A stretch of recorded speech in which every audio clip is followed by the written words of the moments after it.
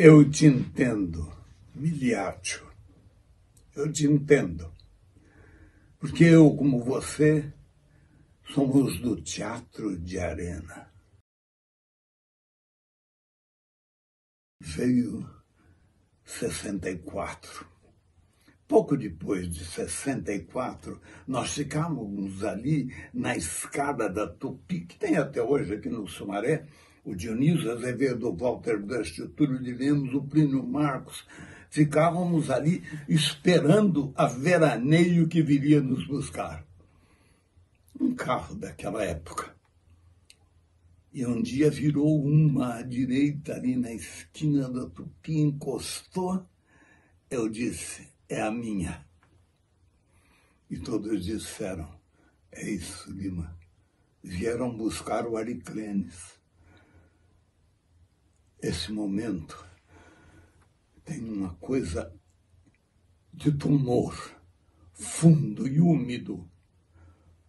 Quando eu tive que me virar para o Dionísio e dizer, vai lá em casa e avisa que eles vieram me buscar. Diz para minhas meninas que papai volta, papai volta. Avisa lá em casa. E acompanhei os senhores até o DOPS, ali onde hoje é a Cracolândia.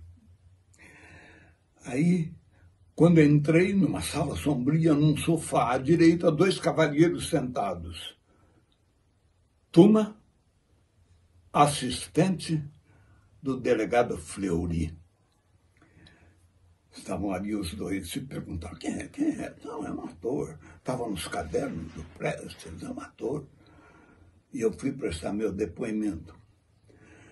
A minha estada lá é uma outra história que oportunamente eu conto para vocês, mas garanto que é linda também. Por isso, por ter vivido esse momento, por ter pertencido à arena, eu digo que eu te entendo, eu te entendo, Miliaccio. Agora, quando sentimos o hálito putrefado de 64, o bafio terrível de 68, agora 56 anos depois, eu tenho 90, você com 85, quando eles promovem agora a devastação dos velhos. Não podemos mais. Eu não tive a coragem que você teve. Mas espera aí, meu amigo, eu vou logo. Eu vou me encontrar com o Boal, com o Flávio Império, com você. E vamos nos encontrar e contar aquelas piadas horrorosas que você contava e o Chico de Assis apontava. Nos encontramos logo.